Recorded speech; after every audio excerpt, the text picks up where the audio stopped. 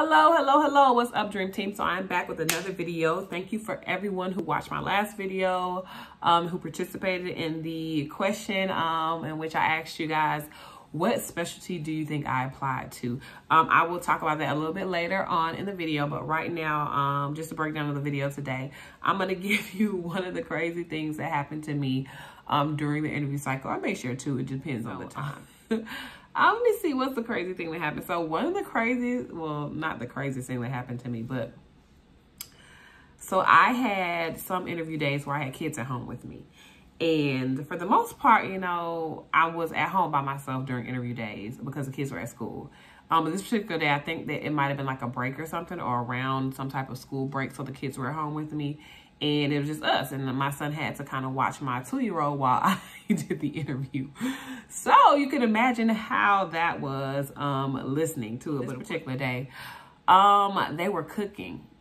Mm -hmm. They were cooking. And remind you, I have a 14-year-old and a two-year-old. So they were cooking and um the fire alarm went off or not the fire alarm but the smoke detector went off and it was so loud and crazy. And by this time i was at the tail end of this particular interview with this person and it was the program director. And we were talking and talking. Next thing you know uh uh uh, uh. i was like oh my god. I was like this is so embarrassing. I'm sorry. She was like do you just check that like that's a smoke detector i'm like it's okay i'm like uh, it's okay but um, it was a good way for me to show that I know how to handle stuff under pressure, I guess, because um, I was like, I could have been like so panicky, so frustrated, so mad when it was going off.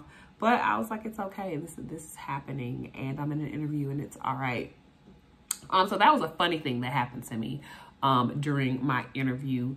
Um, I did have something that happened to me during another interview at a different program um, that I don't know if it really happened to me or just kind of transpired. So I think one of the things that you that a person of color does not want to hear in a professional setting is that they are articulate. And initially, I didn't, you know, think anything of it until I kind of broke down my interview experience with some of my my, my colleagues, and they were like, mm. "But I was on this particular interview, and uh, I was the only minority woman um, there, and all of my interviewers were non-minority people." And um, one one of the interviewers was like, I'm so sorry that your interview is so white. That's what she said.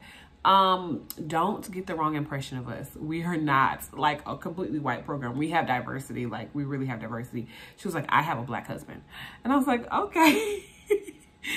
and um, then the next interviewer was an older white gentleman. And, you know, he was very nice, like very, very nice and very complimenting of me and my accomplishments and he kept going on and on about how articulate I was and um and I was just like you know at the time of course I'm like okay wow he's giving me all these compliments all this kind of stuff. He's like how articulate I was and how the black community in that area would, really needs me and I will really do great service to their community And um, initially, like I said, I was like, okay, cool, you know, they think I'm an asset and all this kind of stuff. And then as I, you know, like when you talk to your friends and stuff like that, you kind of like, oh, this happened to my interview.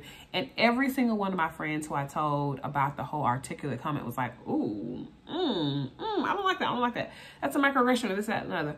Um, and for me, like I said, initially, I didn't think anything of it until I kind of put all the pieces together from that particular interview in itself with that person and I did not want to be objectified in that sense. And I and I also was like articulate. So how did you expect me to sound? I have a bachelor's, I have a master's. I'm in medical school. I work professionally in corporate America and other jobs, as you can see, because you said you're just so enamored by my um, resume. So how did you expect me to sound? So maybe the word articulate was not the right word he meant to say. Maybe it was another word. But yeah, that word, when I kind of thought about it, I was like, so like, did you want me to talk to you in the interview like I talked to my friend? What's up, Shouty? Like, what? What we doing tonight? Like, how did you want me to, to talk in an interview where I'm trying to kind of put my best foot forward in a, a job, you know? So that was kind of interesting.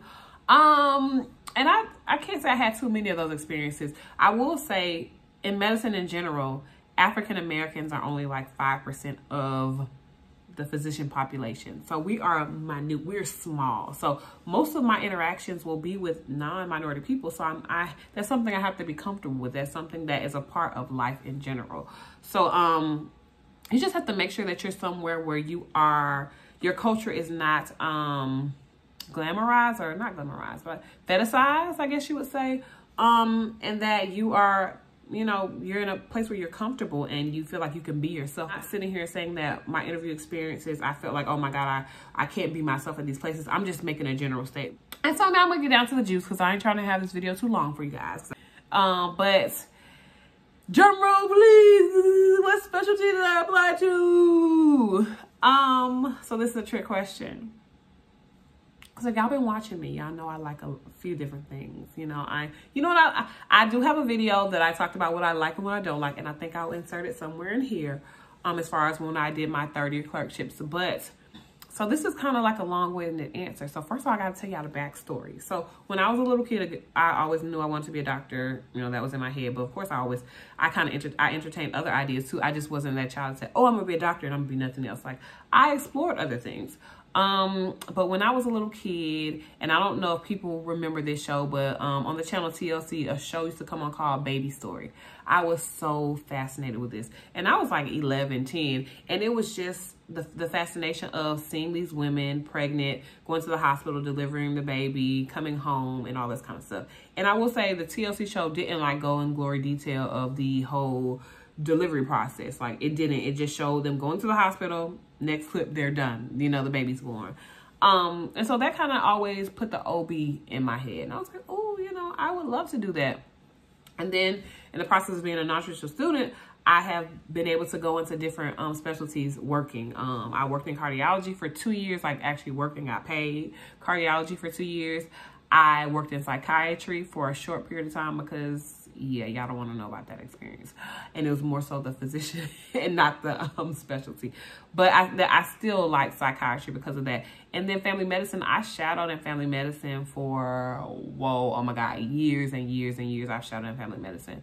Um, and then what other specialties have I had exposure to? Um, those are my only exposure, specialties I've had exposure to outside of um, school. So I had those exposures before medical school. And then when I got into medical school, I was kind of headstrong on where I, where I wanted to go. I knew it was primary care. I knew I did not want to really specialize.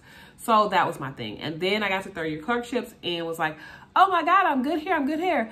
And I knew what I didn't like. I didn't like surgery. And I, like I said, there's a video telling you why I didn't like surgery. Internal medicine for me, I'm not really a hospital person. So I was like, I don't, I don't want to be here all day. Like, I got kids at home. Like I love medicine and I, this is my career, but I want to be, I like outpatient. I like rapport. I like continuity of care, getting to know you, you know, talking to you, um, and hopefully seeing you when you're not, you know, in a hospital bed. And I like kids, but I don't want to do peds. Like mm, my little two-year-old kind of like that out for me. So, um, yeah. And that kind of gets into what I applied to. So, so, so, so, so, so I applied to, I'll tell you in the next video. Make sure you subscribe to the channel. Make sure you like this video. Give it a big thumbs up if you are looking forward to hearing what specialty I apply to in the next video. All right, Dream team. I appreciate you guys for hanging on for the video. And I'll tell you um, next time what I apply to.